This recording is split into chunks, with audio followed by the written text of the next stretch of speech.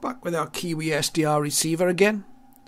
And now let's have a look at the audio settings. When you uh, open any Kiwi, you'll normally default to the audio screen. I'll just quickly show you under the navigation buttons that we looked at uh, in a previous video. You'll see we've got these coloured buttons here. We're on the audio setting here. The left of that is the waterfall setting.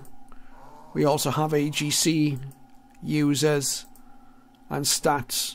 We'll come to those in later videos. For this video, we're going to look at audio and waterfall. So let's go back to audio. Now, the obvious thing here is the volume control. That's self-explanatory. You'll see that with any receiver. There's our volume control. We have a noise blanker here, which you'll find again with most receivers. If we click on the More button, you'll see now in the bottom left we've got an additional screen. We can actually make some more detailed adjustments to the noise blanker, the width and the gain of it. Just close that. So that's the noise blanker.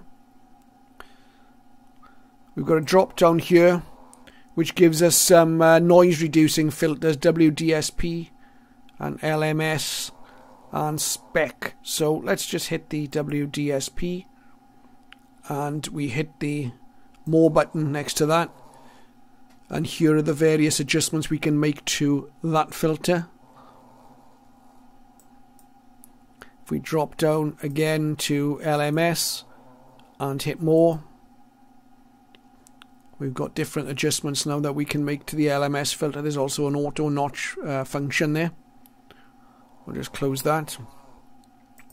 And if we go down to uh, spec and hit more, we've got three adjustments we can make to the it's a spectral filter. That's what that stands for. So we've got the adjustments there. So you can scroll through those and choose which one you find best at reducing the noise that you're experiencing. We'll just close that.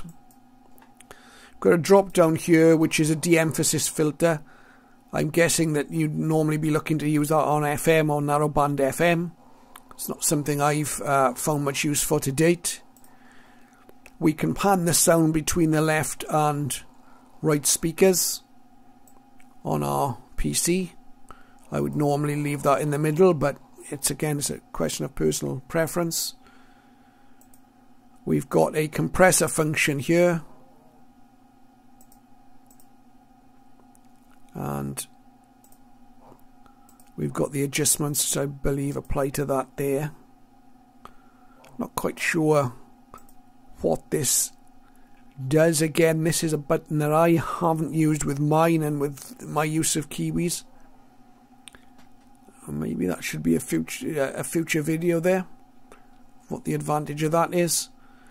Anyway lastly on the audio we've got a squelch function most useful if you're using narrowband FM, but it'll work on all modes.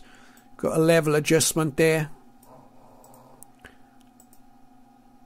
And we can adjust up to a maximum of 40 dBs and zero obviously is the squelch being off. So those are our audio functions. Just right at the top lastly we can mute the receiver so if we've got the volume on and we just want to mute the sound instantaneously, we just hit that and it mutes. Now the second thing we look at in this video is the waterfall settings. So if we click on this WF button, we can make various adjustments on the waterfall. More often than not, I will just hit the auto scale button and that automatically adjusts the spectrum and waterfall to a level that the software thinks is appropriate. But using these sliders,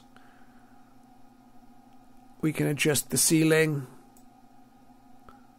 the floor level, the uh, rate of the update of the waterfall. You can see how it slows down there at that setting. If we put up to fast, takes a second or two, then it's speeding up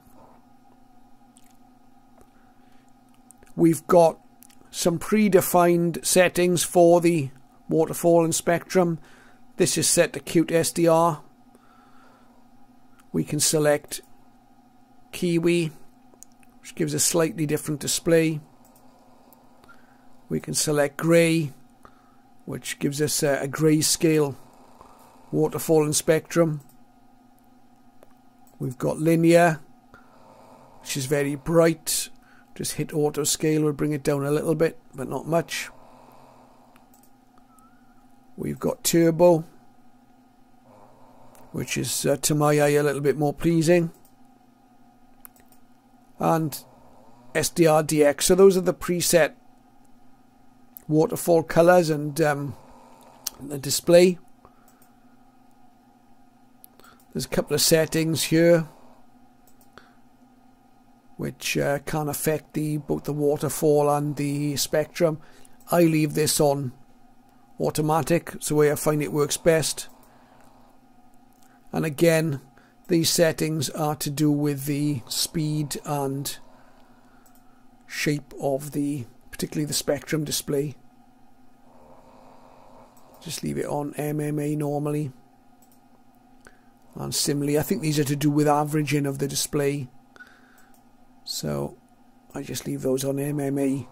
But you can alter these it doesn't affect the performance of the receiver, but it does affect the uh, the visual display, and it's whatever you find easier on the eye. So there you go, the waterfall settings and the audio settings for the Kiwi SDR.